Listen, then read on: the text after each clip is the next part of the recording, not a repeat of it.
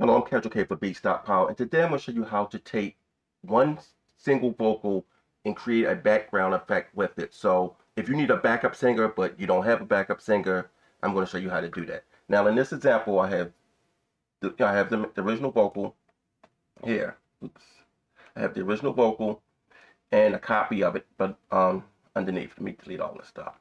All right, so I'm going to play the original vocal.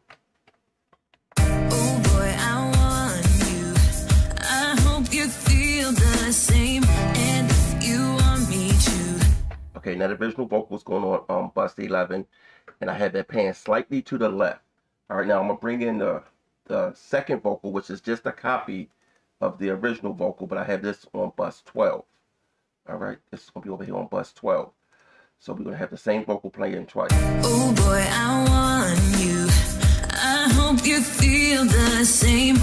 All right, now what I'm gonna do is use halftime on bus 12 to change the octave and the speed of the second vocal, giving you that background singer type effect. So I'm going to go ahead and load in halftime on this bus.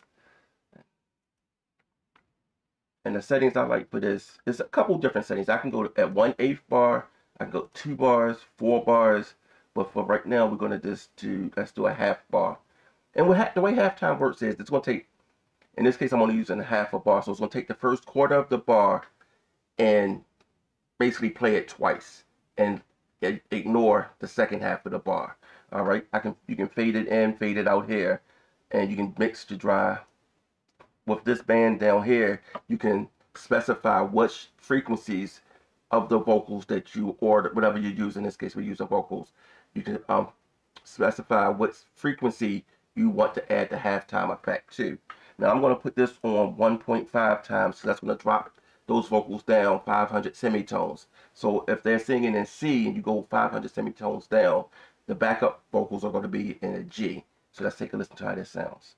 Um, let me want to mix this a little bit around here. And go ahead and give it a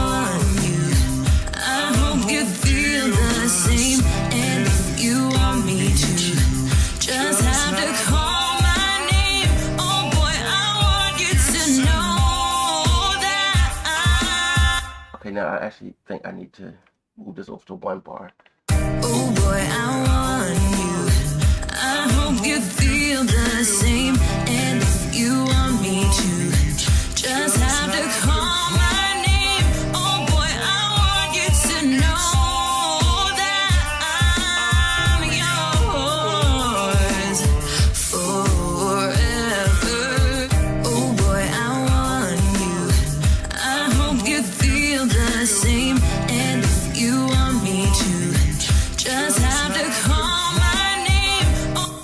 Okay, so I hope you can see what I did there. Now, I dropped the that second vocals down, like I said, 500 semitones, which is still keeping you in key, all right, or in scale, however you want to um to say say that. So from C to G is five is um 500 semitones. One, two, three, four, five. That's perfectly fine. I reduced the speed of those second vocals to give us that background singer type feel and I think it works perfectly. This is one of the easiest ways to add background vocals if you only have the main vocal. I'm Casual K. If you have any questions, drop a link, um, drop your questions down below. Y'all have a nice day.